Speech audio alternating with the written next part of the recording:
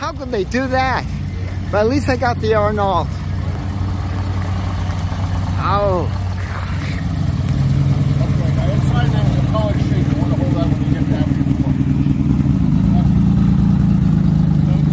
Wow. Nice Arnolt. Is this yours? It is.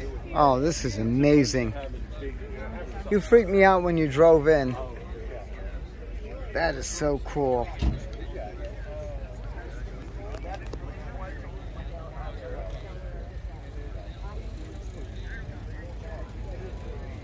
Mm.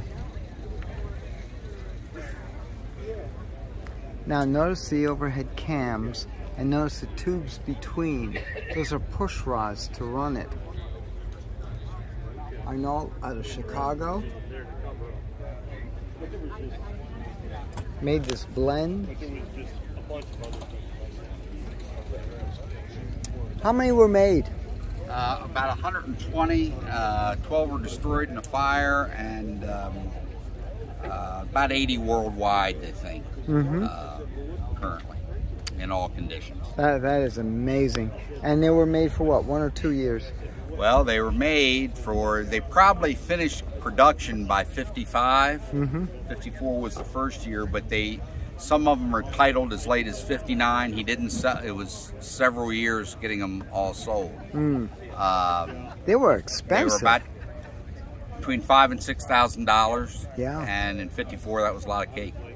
That's for sure. So, and they, but they successfully raced uh, uh, on the SCCA circuit in the '50s, and are today very competitive in vintage racing uh, with original two-liter engines. Cool. Now that's a BMW engine, correct? BMW design, pre-war, 326, uh, uh, 328 BMW, Mhm. um, six cylinder. Some people say they Bristol got the rights through war reparations. Uh, others tell me that Bristol had a relationship before the war with BMW. Hmm. But in any case, by the time Bristol started using it, BMW had moved on from that engine. Right. So uh, it's likely it was just a, a deal. I don't know. Yeah. you know. Uh, Well, look at Daimler. Yeah. So, Yeah. yeah, things were happening. And uh, anyway, it's a great engine. Oliver Nuthill is still building race engines. Uh, you can still get the blocks and heads wow. and a highly successful race in the two-liter class. Jeez, that, that that's amazing. And the car is aluminum tube The frame? body is steel. The boot and bonnet are aluminum. Mm-hmm. Very good. And you got solid rear? Uh, solid rear axle with torsion bar suspension for the rear Ah, uh, through a rather elaborate uh, mechanism that is a shock absorber and the torsion bar, and you can adjust it, tune it uh, each side. Neat. And a transverse leaf in the front with rack and pinion steering, which is very early. oh, interesting. Yeah. Jaguar didn't have central it then. lubrication system Uh-huh. on it, so that's kind of uh, unique. Uh, it- they were pretty interesting cars. Oh my gosh, this is the first time I've seen one live. Now, how do you pronounce the Arnaud model? Bristol.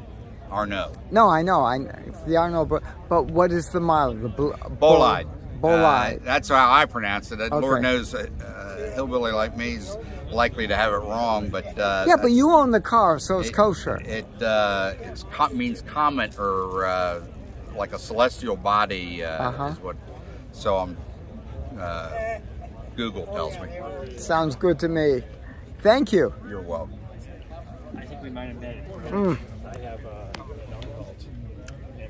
Oh, do you? Oh my gosh, there's another rare one. Um, no, I haven't been. It's been. Those are the shocks that you're seeing over there. that, um, all the Cunninghams. Wow, that's really pretty cool. uh, that's been maybe three. four That ago. cool. I didn't show. I didn't own this then. Oh, good show. Be right there.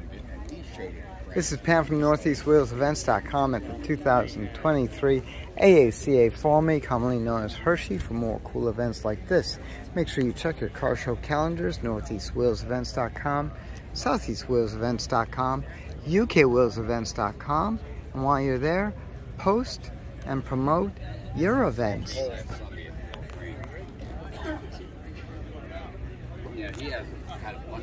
I'll see you at the shows.